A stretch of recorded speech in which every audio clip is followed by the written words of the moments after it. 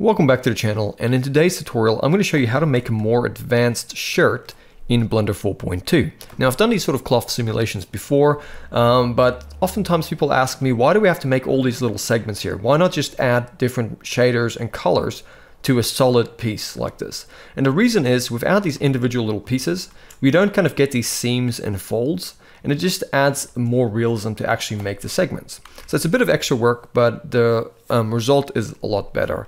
I think. So what I'm going to do, I will also be providing this guy. Um, I'll explain that in a little bit so you can follow along with the exact same model. Um, but yeah, this is just a fun little thing to do. It's a little bit more advanced, but I think it's simple enough that you can follow along. And just one thing I want to mention, when I was recording this towards the end, the audio did cut out for the last five minutes. So I just had to remake that part and just kind of recap what I did. So it's just me kind of showing you what I did, some of the settings, but most of the shirt um, the audio captured fine. So it's it'll be still fine to watch the tutorial.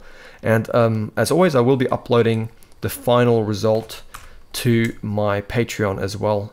Um, but the actual file to follow along with, I'll be providing that for free down in the description. So um, yeah, let's jump in and make a men's shirt in Blender. If you have your own animated character, that's completely fine. If you don't, you can just go into the description below and you can download mine that I've made available on Gumroad. You can come over here and just put in zero dollars so you can get it for free.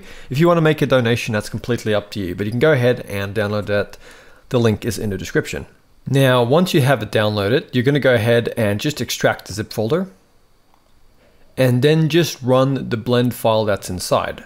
Now, if you're opening this in a new version of Blender, um, you might get a little thing that pops up that says um, to allow some sort of extension. You can just go ahead and allow that. And after that, you might also notice if you're running this in Blender 4.2 that the mesh looks kind of weird. Now, you might not have that issue, but if you do, it's just a bug. And all you have to do is just go into edit mode, press A to select everything, just go over here to mesh, go to normals, and then just come over here and go split normals. Then go to mesh again with everything still active and go to normals and just go to merge. Now if you tab back out, you can see the mesh looks all clean. And I know you might think that has something to do with the normals, but I can assure you that the normals are actually okay, the face orientation. So that's just a weird thing that happens sometimes um, if you open up mesh in a new version of Blender. So hopefully now you guys know how to fix that if that um, comes up in the future.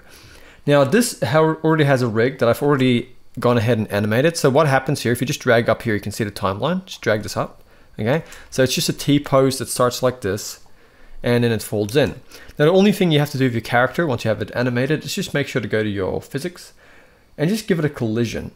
It's also important to note that your collision should always be underneath your armature. Okay, so um, the animation happens first and then the collision. Otherwise your fabric will just kind of be sitting in space and not interacting and you wouldn't know why. Anyway, with that out of the way, let's just go to frame one. And on frame one, we're gonna start by laying out our shirt. So we're gonna go Shift A, we're gonna go to our mesh options and add in a plane. And with this plane here, we're gonna go G, Z, and just move it till it's kind of like in the chest height here. And we're gonna go tab into edit mode. And I'm just gonna turn off proportional editing. If it's enabled, just make sure it's off. We're gonna go RX90 and hit enter.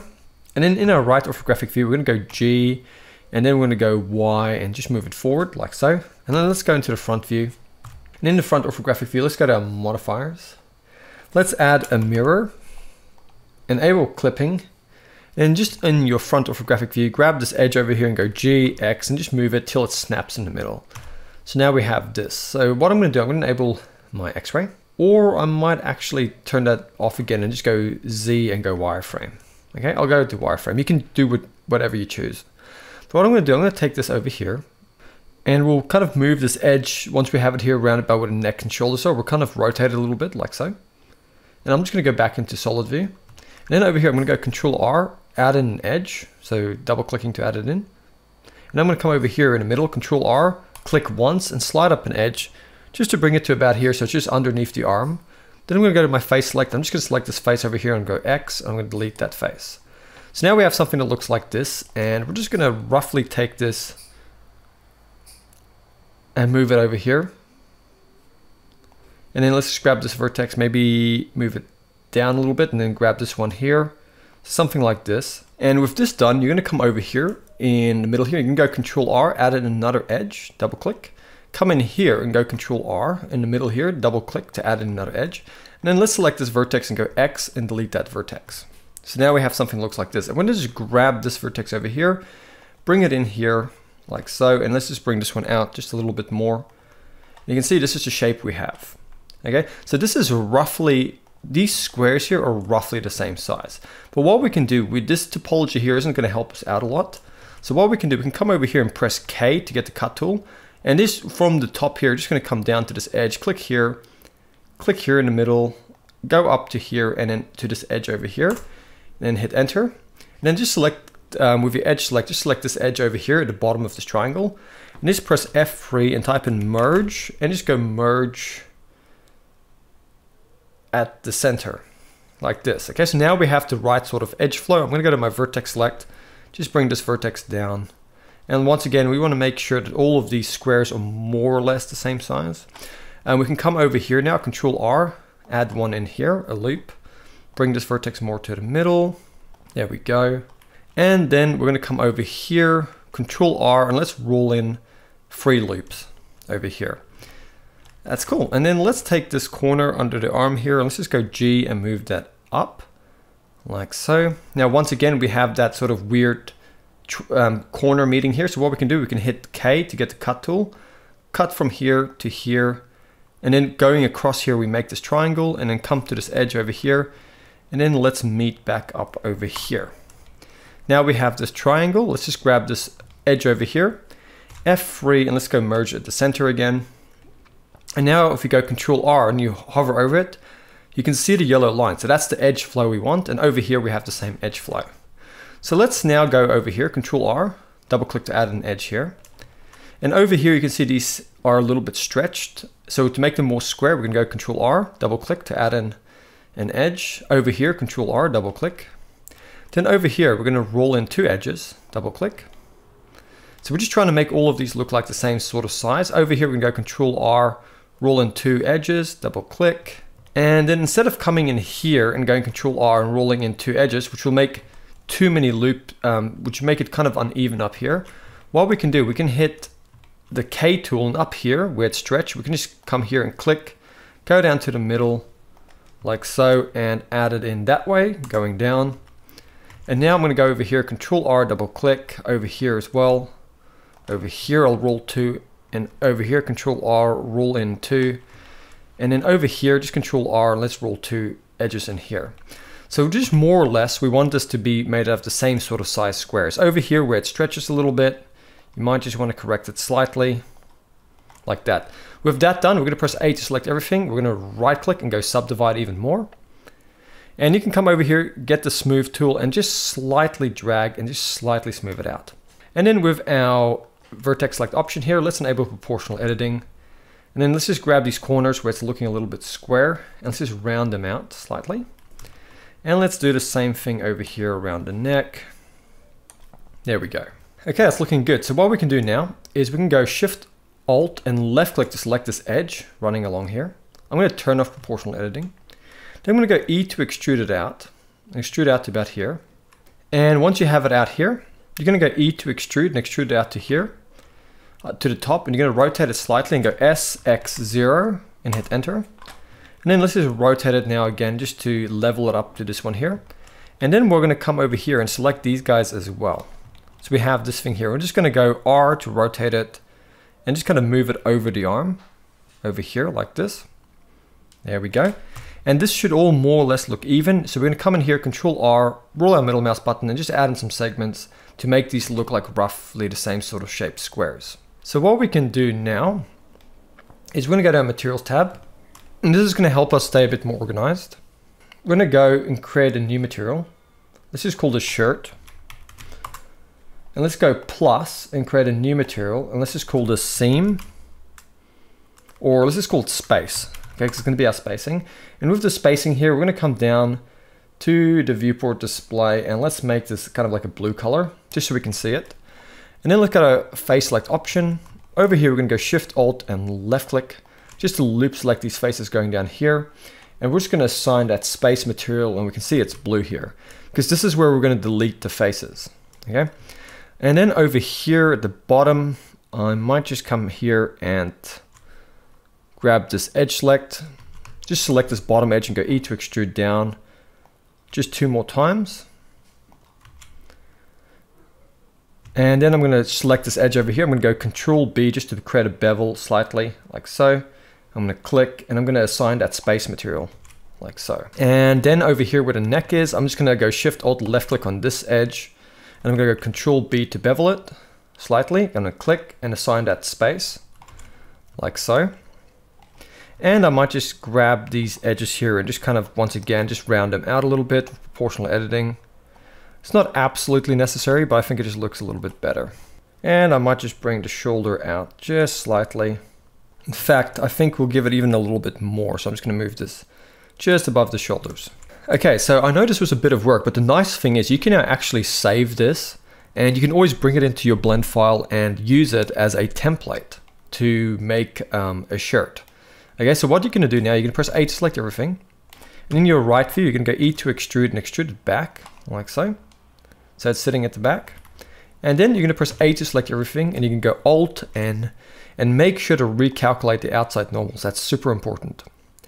Now what we're gonna do is you're gonna go ahead and where the opening is here, you're gonna select all those faces and go X and delete those faces. You're gonna also do the same at the bottom. And then the inside of the neck here, going up to here, all of those faces, you can go X and delete those faces. And then Shift Alt left click and just select all of these faces here.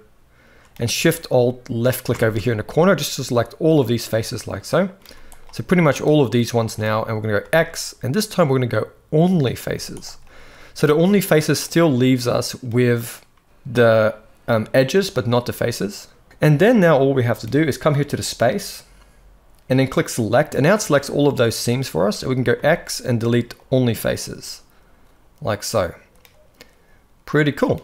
Now let's tab back out. Let's make sure to save. Let's grab this cloth. Let's go to our um, physics, give it a, a cloth. Let's come down to the collision and make it self collision. Let's go up to the shape and enable sewing. And let's make that 24 on the sewing strength. And now let's make sure we're at frame one. Let's hit the space bar and we should see it all snaps on like so. How cool is that? So now what I'm going to do, I'm going to select the shirt, I'm going to right click and just go shade smooth. Okay. And I'm also going to go to my modifiers. And I know this seems a little bit premature, but let's just go ahead over here. And let's go add modifier search and just type in sub and give it a subdivision surface. And then add modifier search and let's just type in solidify. There we go. And let's just come here and let's just give it a bit of thickness going in to the inside like so. There we go. Perfect. Okay, and that's just going to help us see what's going on a little bit better. So let's go back to frame one. Let's select our shirt and what we can do, we can go to materials, click plus and go new and let's call create a material called shirt 2. And what we're going to do is we're going to go ahead and just select all of these extra little trim bits okay like so and maybe these ones over here all the little extra bits of trim and let's just assign that shirt to material. And so we can see it let's just go to viewport display and give that a material. So I'm going to give it like a red for example. Going to tab back out. I'm going to go to frame one hit the spacebar again. And now we can see this is what we have. Pretty cool. And you can see that um, as it keeps going, at a certain point the arms fall down. But I'm going to pause now and you can see this is what we have. Okay, so the cool thing about this is that you can always um, come to frame one, you can grab the shirt and at any point, because it's mirrored, you can always select any of these bits now in the front orthographic view and just kind of move them and reposition them, right? Until you're more happy with the results that you're getting. So in this case, I might just want to select the shoulders here. And I might just want to bring them out a little bit more. And it's always important to make sure you use the proportional editing. Okay, when you're doing this. But more or less, you can see this is sort of what we're going for. So I'm going to go back into object mode, go to frame one, I'm going to hit the space bar. And I can see what I might want to change is just a gap over here. So I might just take these guys over here. Once again, at this point, it's optional. You can edit this however you want. Um, but I'm just going to make sure just to select these guys over here. And for proportional editing, I'll just bring them a little bit closer in towards each other. And I'll grab these guys over here. Kind of just bring them in a bit more. Go to frame one, hit the spacebar. And I'll pause there for now. What I'll do is I'll grab the shirt and I'll go over to the materials. I'll grab the shirt and just under the viewport display, I'll make that a bit darker in value and I'll just bring down the roughness as well. So yeah, what we could probably do to make this look better now that we're kind of have it more or less in place is we can go over to our physics and we can give it a higher quality. So we can maybe make it 12 in the quality steps. And under the um, self collision, we can make the distance under the self collision 0.008 and we can come here to the quality steps under the collision and make it 5. So now if we go to frame 1 and we hit the spacebar, we can see that this is the simulations. It's looking a lot better now. Okay, so what happened was towards the end of my video when I was recording, my microphone cut out. So instead of having to start the whole tutorial again, I'll just kind of update you in onto what happened for the next five minutes because the tutorial was almost done when this happened. So I'll just quickly show you everything I did, okay? So first of all, um, just the obvious, I just with the materials, I just changed them in the viewport a little bit. Other than that as well, inside of here, I just deleted some of these faces here, but leaving the edges. Just an extra optional thing with the shirt um, sleeves here, and I made them a little bit shorter. That's optional, you don't have to do that, but it's the exact same sort of technique we use over here for the rim around the neck. So that's all I did over there. And then what I did, so the neck doesn't open up as much, okay, when this is simulating, what I did is I grabbed the character and I went over to the physics. And under the collision, I took this um, friction amount down to 3. And I could probably take it down even lower, so this shirt doesn't slide along with the shoulder as much in this example. Now that might not be an issue you face with your character, but in this case I did. So that's just something you can play around with. Another thing, um, I, um, I've already um, gone ahead and baked the cache here.